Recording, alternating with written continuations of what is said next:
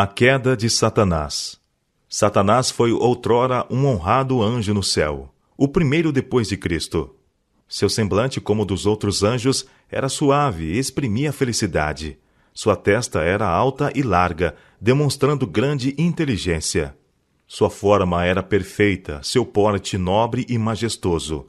Mas quando Deus disse a seu filho: Façamos o homem à nossa imagem, Satanás teve ciúmes de Jesus ele desejava ser consultado sobre a formação do homem, e porque não foi, encheu-se de inveja, ciúmes e ódio.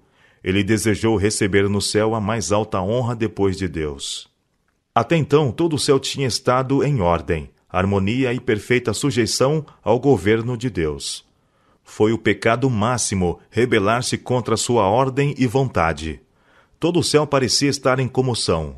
Os anjos foram dispostos em ordem por companhias, cada divisão com mais categorizado anjo à sua frente.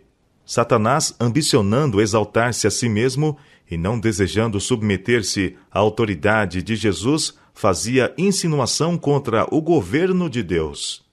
Alguns dos anjos simpatizaram com Satanás em sua rebelião, ao passo que outros contenderam fortemente com ele, atribuindo honra e sabedoria a Deus em dar autoridade a seu filho. Houve controvérsia entre os anjos. Satanás e seus simpatizantes estavam porfiando por reformar o governo de Deus. Desejaram perscrutar sua insondável sabedoria e averiguar o seu propósito em exaltar a Jesus e dotá-lo com tão ilimitado poder e comando. Eles se rebelaram contra a autoridade do Filho. Toda a hoste celestial foi convocada para comparecer perante o Pai, a fim de que cada caso ficasse decidido. Aqui ficou decidido que Satanás seria expulso do céu, com todos os anjos que a ele se haviam unido em rebelião. Houve então guerra no céu. Anjos se empenharam em batalha. Satanás desejava conquistar o Filho de Deus e os que estavam submissos à sua vontade. Mas os anjos bons e leais prevaleceram, e Satanás, com seus seguidores, foi expulso do céu. Depois que Satanás e os que caíram com ele foram expulsos do céu, e tendo ele compreendido que perdera para sempre toda a sua pureza e glória, arrependeu-se e desejou ser reintegrado no céu. Estava disposto a ocupar o seu próprio lugar, ou qualquer posição que lhe fosse designada. Mas não.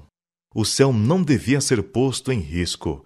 Todo o céu poderia vir a ser maculado se ele fosse recebido de volta, pois o pecado originou-se com ele, e dentro dele estavam as sementes da rebelião. Tanto ele como seus seguidores choraram e imploraram para serem de novo recebidos no favor de Deus. Mas o pecado deles, o seu ódio, inveja e ciúmes tinham sido tão grande que Deus não podia apagá-lo. Tinha de permanecer a fim de receber sua punição final.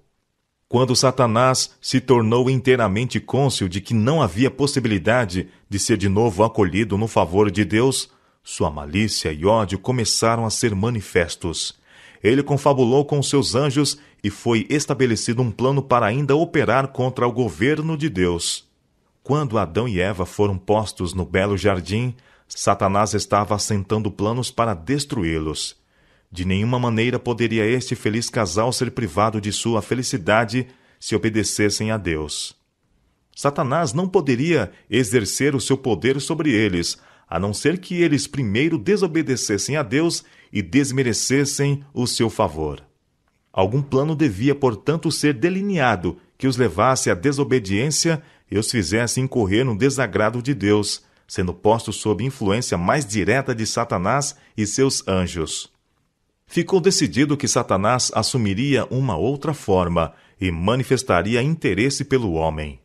Ele devia fazer insinuações contra a fidelidade de Deus e criar a dúvida quanto ser precisamente exato o que Deus dissera. A seguir, devia ele excitar-lhes a curiosidade e levá-los a investigar os impenetráveis planos de Deus, precisamente o pecado de que Satanás se fizera culpado ponderando sobre a causa de sua restrição com respeito à árvore do conhecimento.